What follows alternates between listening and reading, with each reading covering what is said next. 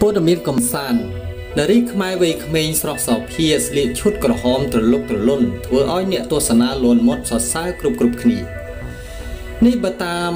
រយៈវីដេអូបង្ហាញក្នុងបណ្ដាញសង្គម YouTube ទើបផុសចូលក្នុង Channel របស់ខ្មែរម្នាក់ដែលបានធ្វើការងារនៅក្នុងផលិតកម្មភាពយន្តមួយដែលពួកគាត់កំពុងរៀបចំ និងថតវគ្គឈុតខ្លីៗ នៃបទចម្រៀងរបស់ពួកគាត់យ៉ាងណាមិញវីដេអូសកម្មភាពខ្លីៗរបស់នារីខ្មែរវ័យក្មេងម្នាក់នេះ បានធ្វើឲ្យទស្សនិកជនជិត1លានដង ដោយសារតែរូបសម្រស់និងការស្លៀកពាក់គួរឲ្យកយគុណទាក់ភ្នែកនិងចាប់អារម្មណ៍យ៉ាងខ្លាំងពីសំណាក់អ្នកដែលចូលចិត្តមើលវីដេអូនានាតាមរយៈប្រព័ន្ធ YouTube នេះមិនថាអ្នកនៅក្នុងស្រុកនិងក្រៅស្រុកនោះទេ ព័ត៌មានបន្តមិនគួរឲ្យជឿស្ត្រីត្រូវរៀបការឲ្យបានច្រើនដងទើបល្អប្រពៃប្រពៃណីចម្លែកនៅនេប៉ាល់ចម្លែកចម្លែកកុលសម្ព័ន្ធនៃជនជាតិដើមភាគតិចមួយឈ្មោះនេវ៉ារូឬកេប៉ាមី ក្នុងប្រទេសនេប៉ាល់តែងតែប្រារព្ធពិធីទំនៀមទម្លាប់ដ៏ចម្លែកពីគេដែលក្នុងមួយជីវិតរបស់ក្មេងស្រី នៃស្រុកភូមិនោះ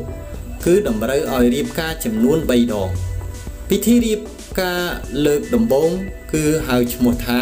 Bibe ឬ Ehi ដែលក្មេងស្រីមានអាយុចន្លោះពី4ទៅ11ឆ្នាំនឹងត្រូវរៀបការជាមួយនឹង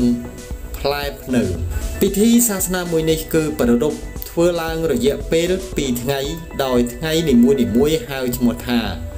Dosala ព្រិយានិងថ្ងៃទី2មានឈ្មោះថាភិកភោចាការរៀបការជាមួយផ្លែភ្នៅនេះត្រូវបានអ្នកភូមិមានជំនឿ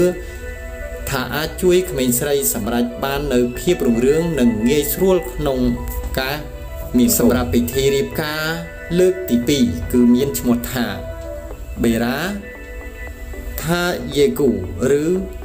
កូហ្វារ៉ា នេគឺជាពិធីរៀបការមួយព្រះអាទិត្យនៃប្រពៃពិធីឡើងក្នុងរយៈពេលជិត12ថ្ងៃ ពិធីរៀបការទី2នេះដែលធ្វើឡើងចំពោះក្មេងស្រីដែលមិនទាន់មានរដូវអាយុចន្លោះពី10ទៅ15ឆ្នាំ ក្នុងអំឡុងធ្វើពិធីមួយនេះក្មេងស្រីតម្រូវឲ្យដាក់ក្នុងកន្លែងងងឹតមួយដូចក្នុងរូងភ្នំដែលចាក់ឆ្ងាយពីមនុស្ស ប្រុសស្រីដើម្បីបញ្ជាក់ភាពបរិសុទ្ធរបស់ខ្លួនចំពោះការរៀបការលើកទី3ដែលជាលើកចុងក្រោយបំផុត គឺការរៀបការនឹងមនុស្សប្រុសការរៀបការលើកចុងក្រោយនេះកើតមានឡើងក្នុងជំនឿមួយរបស់ក្រុមគ្រួសារផងដែរ